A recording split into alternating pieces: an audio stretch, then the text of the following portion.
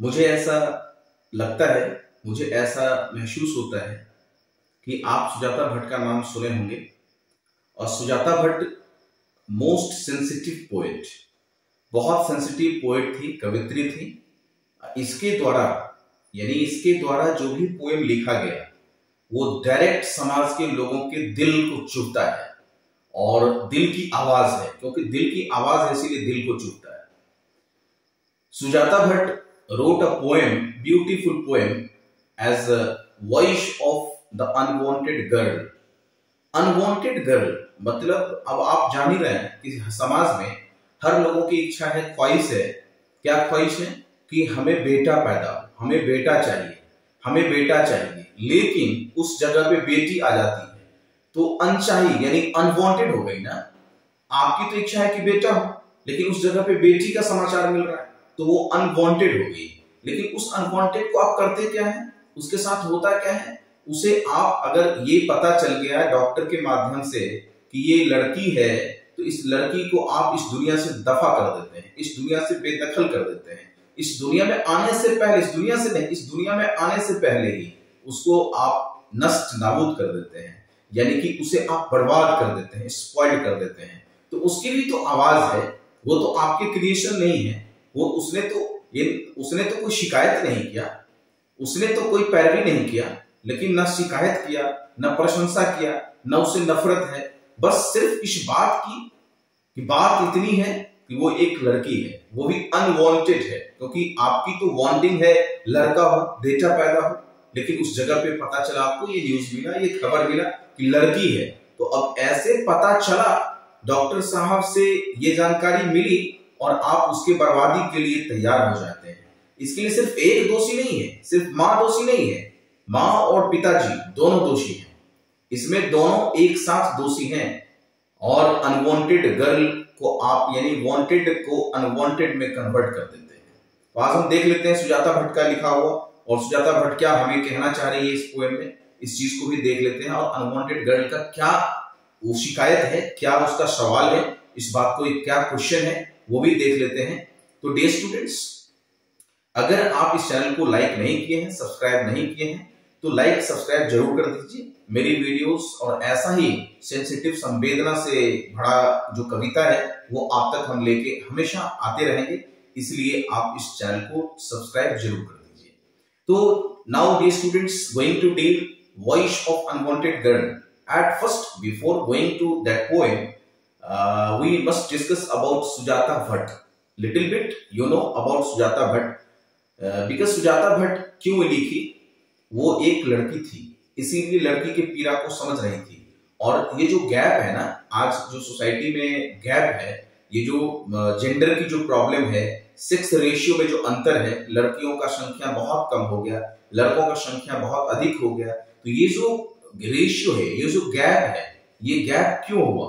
उसके लिए क्या, कौन जिम्मेदार है? इसी बात को देखेंगे। तो सुजाता भट्ट को thank you for this poem कि आज ये समाज की जो बर्निंग इश्यू है, उस पर इन्होंने ये कविता लिखी है। तो आज हम देख लेते हैं सुजाता भट्ट को। Sujata Bhatt is one of the finest living poets देखिए इसमें वर्ड है लिविंग लिविंग पोएट्स है। लिविंग का मतलब होता है जीवित। यानी कि इसकी जो आत्मा है ना, वो जीवित है। जीवन को जीवंत के रूप में ये देखी है। इसीलिए लिविंग पोएट्स इसमें लिखा हुआ है। One of the finest living poets In this poem, she has voiced her concern about the gender base. यानी कि ये जेंडर बेस सेक्स रेशियो की जो प्रॉब्लम्स है इशू है उस पर ये बात की है। In our society girls are treated as inferior to the boys यानी कि लड़कों के in the comparison of boys लड़कों की तुलना में लड़कियों से हम लोग वैसे व्यवहार नहीं करते इंफीरियरिटी मानते हैं उसे इंफीरियर समझते हैं। तो लड़कों को ज़्यादा जब्बू देते हैं समाज में, लड़कियों को कम देते हैं। लड़कियों का महत्व कम देते हैं, लड़कों का ज़्यादा देते हैं। इसीलिए वांटिंग मोड में लड़के आपको हैं अनवांटिंग मोड में लड़कियाँ, यानी कि लड़की अनवांटेड हो गई। अब उसी आवाज़ को आप देखिए, कितनी मार्मिक चीज़ है। The birth of a girl is considered a misfortune अब ये कह रही है कि अगर घर में लड़की पैदा हो गई तो ये दुर्भाग्य हो जाता है। घर के लोग मायूस हो जाते हैं। खुशी होने के बजाय मायूस हो जाते हैं। तो ये अनवांटेड जो चीज़ है ना, इसे अनवांटेड आपने बनाया है। God does not create such kind of thing you create and you are going to create such kind of atmosphere in your family और in the society what happens with the life of girls what happens with the life of boys लड़कों के साथ क्या होता है? लड़कियों के साथ क्या होता है? Literacy and uh, find out the circumstance happening with the girl, girls baby. लड़कियों के साथ क्या हो रहा है समाज में? Let you think over that आपको उस पर सोचना है कि लड़कियों के साथ क्या हो रहा है। ये मिसफॉर्च्यून है दुर्भाग्यता है? नहीं। The technique that helps to determine the sex of the unborn child is used against the girl child ये सिर्फ़ लड़कियों का समाचार मिलते ही ये सब चीज़ और दिमाग आने लगता है। If the expected baby is a girl is it is destroyed अगर पता चलता है कि लड़की है तो हम लोग उसके डिस्ट्रॉयड यानी उसके बर्बादी के बारे में सोचना शुरू कर देते हैं। That is why the difference between numbers of boys and girls is increasing day by day in the society समाज में लड़की और लड़कियों का जो रेशियो है ना, लड़के लड़कियों का, वो दिन प्रतिदिन समाज में बढ़ते जा रहा है। इसीलिए बढ़ते जा रहे हैं। लड़की घट रही है, लड़के बढ़ रहे हैं। तो गैप बढ़ता जा रहा है। अब आते हैं हम लोग टू दी पॉइंट इस पोएम के शमरी को देख लेते हैं। तो समरी ऑफ़ दिस पोएम इस पोएम के शमरी को देखेंगे। आई होप लाइक दैट कि आपको बहुत अधिक समझ में आएगा और ये जो मैसेज देना चाह रही है, संदेश देना चाह रही है हम लोगों को, वो संदेश भी आप समझ जाएँगे। इस कविता के साथ साथ सिर्फ़ कविता को ही नहीं समझना है एग्जामिनेशन में ही उत्तर नहीं करना है, अपने जीवन को भी समझना है और इस पोएम के माध्यम से क्या कहना चाह रही है, बहुत मूल्यवान चीज़ कहना चाह रही है वेलेबल चीज़ कहना चाह रही है इंपॉर्टेंट बात कर रही है, उस चीज़ को देखेंगे। The poem the speaker in the poem is an unwanted girl इस पोएम की जो स्पीकर है ना, वो अनवांटेड गर्ल है, जिसे आप नहीं चाह रहे घर में। वही लड़की की आवाज़ है, वही उसकी, उसी की सवाल है।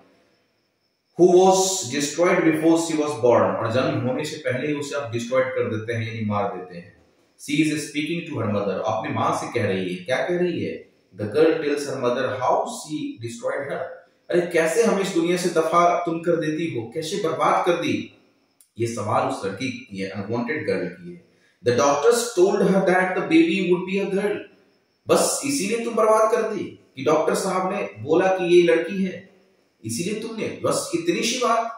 और इतनी सी बात की लिए इतनी इतनी बड़ी परिणाम, इतना बड़ा रिज़ल्ट और इस दुनिया से डिस्ट्रॉयड कर दी स्पॉइल्ड कर दी। Now, she put on her green sari and went to the hospital to have the girl, child destroyed because the girl was unwanted. और इसलिए क्योंकि हम अनवांटेड हैं तुम्हारी चाहत थी कि पुत्र पैदा हो बेटा पैदा हो उस जगह पे बेटी हो गई तो हम अनवांटेड हो गए। बस अनवांटेड हो गए इसलिए मुझे डिस्ट्रॉयड कर दिए। The mother already had one daughter क्योंकि तुम ये कहे कि ऑलरेडी मुझे बेटी है अब मुझे बेटी नहीं चाहिए।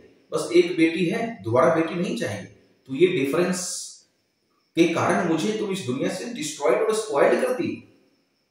The doctors gave an injection to kill the girl और डॉक्टर के पास ले गई हॉस्पिटल वो एक मरने की इंजेक्शन दे दिया और हम मर गए।